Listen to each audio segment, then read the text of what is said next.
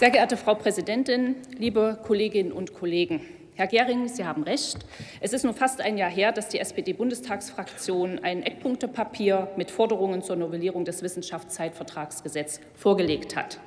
Aber wie hat die Opposition darauf reagiert, außer heute wieder mit Falten auf der Stirn und mit Nörgeln? Die Antwort der Grünen war ein von der SPD-Fraktion abgeschriebener Gesetzentwurf aus der vergangenen Legislatur. Das war die Antwort der Grünen. Wir haben den vor ein paar Monaten hier äh, debattiert, haben darüber auch gesprochen. Und nun, fast ein Jahr später, liegt ein Antrag der Linken zum Thema gute Arbeit in der Wissenschaft vor. Prima, sehr schön, dass Sie jetzt auch das Thema und die große Relevanz äh, für sich entdeckt haben. Daher freue ich mich, dass wir heute einen Antrag beraten, bei dem wir in der Sache, denke ich, parteiübergreifend unseren Koalitionspartner müssen wir da noch ein bisschen mit unter die Arme greifen, aber nahezu einer Meinung sind. Und ich denke, das Thema ist es wert. Ich denke, wir sind uns Ich bin am Anfang meiner Rede, das wird schon alles noch. Ne? Ich denke, wir sind uns darin einig, äh, dass unsere Wissenschaftlerinnen und Wissenschaftler planbare und verlässliche Karriereperspektiven sowie attraktive Arbeitsbedingungen benötigen. Das wurde heute schon von mehreren Rednern so betont. Ich denke, auch nur so gelingt es, dass wir die besten Köpfe in unserem Land halten und eben auch zukünftig wettbewerbsfähig bleiben. Wir sind uns auch sicher darin einig, dass es nicht sein kann, dass über 80 Prozent der wissenschaftlichen Mitarbeiterinnen und Mitarbeiter an unseren Hochschulen befristete Verträge haben. Ja, Frau Wohlke. Noch dazu mit einer Laufzeit von unter einem Jahr bei über der Hälfte der Verträge. Das ist keine gute Situation. Und wir sind uns denke ich, auch darin einig, dass es nicht zielführend ist, dass selbst an unseren außeruniversitären Forschungseinrichtungen, das verstehe ich noch weniger als an unseren Hochschulen, schon also noch 2012 fast 60 Prozent aller Wissenschaftler befristet beschäftigt waren und davon viele eben auch noch über Stipendien. Liebe Kolleginnen und Kollegen, daher ist es gut und wichtig, dass sich diese Große Koalition endlich des Problems der prekären Arbeitsbedingungen in unserem Wissenschaftssystem annimmt und das auch in dieser Legislatur noch mit einigen Ergebnissen untermauern wird. Und es freut mich, dass wir, die SPD-Bundestagsfraktion, mit unserem Eckpunktepapier die Debatte über den Umgang mit unserem wissenschaftlichen Nachwuchs maßgeblich mit angestoßen haben. Was steht nun in unserem Eckpunktepapier? Für uns sind insbesondere drei Punkte bei der Novellierung des Wissenschaftszeitvertragsgesetzes wesentlich. Das ist erstens die Befristungsdauer eines Arbeitsvertrages, die sich am Qualifizierungsziel orientieren muss. Das heißt, wenn für eine Promotion üblicherweise drei Jahre benötigt werden, dann erwarten wir auch, dass die Laufzeit des Vertrages drei Jahre ist. Und das betrifft zweitens die Drittmittelbefristungen, die an die Dauer der Drittmittelförderung oder eben der Projektlaufzeit zu koppeln sind. Und drittens sind wir der Auffassung, und das bitte ich mal besonders Sie, Frau Gohlke, dass Sie da mal genau hinhören, dass das nichtwissenschaftliche bzw. wissenschaftsunterstützende Personal, welches in der Regel Daueraufgaben übernimmt, im Wissenschaftszeitvertragsgesetz fehl am Platz ist.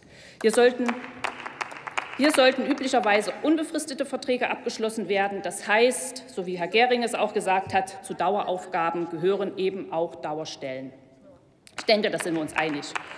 Und ich denke, wir können auch als Koalition stolz sein. Seit der Veröffentlichung des SPD-Eckpunktepapiers ist viel an unseren wissenschaftlichen Einrichtungen in Bewegung geraten. Und ich denke und freue mich, dass es auch den Grünen und den Linken aufgefallen ist.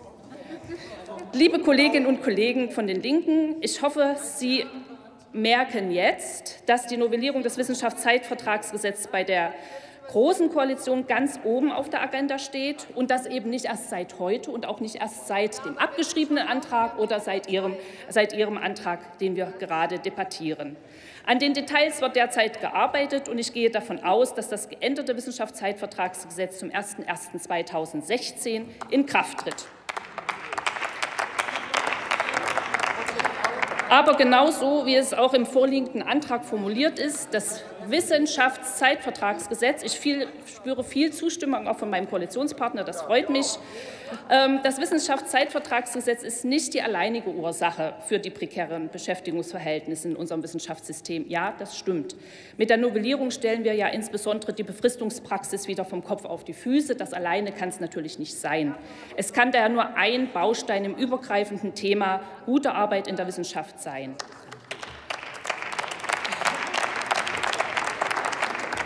Ein zweiter Baustein ist zum Beispiel der Pakt, der vierte Pakt für den wissenschaftlichen Nachwuchs und akademischen Mittelbau. Meine Kollegin Frau Dingens-Dierich ist da, da äh, schon kurz darauf eingegangen.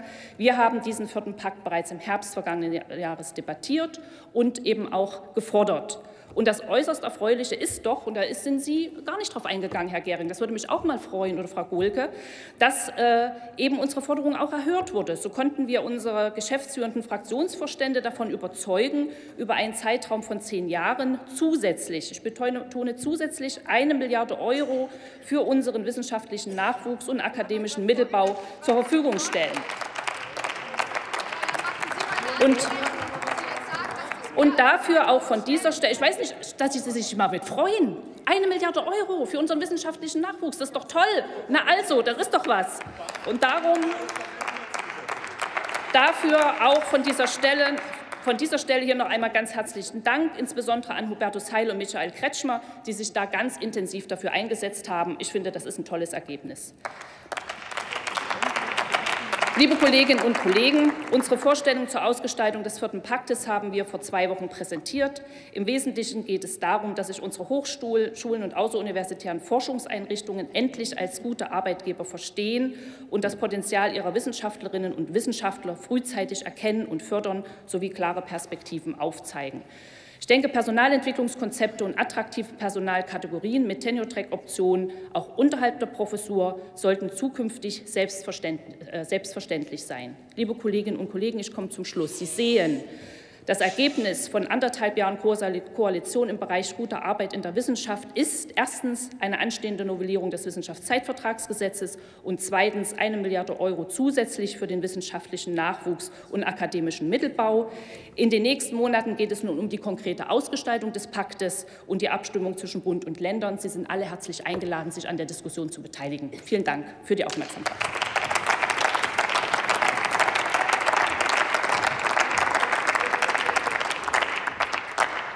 Für die CDU-CSU-Fraktion spricht nun die Kollegin Dr. Claudia Lücking-Michel.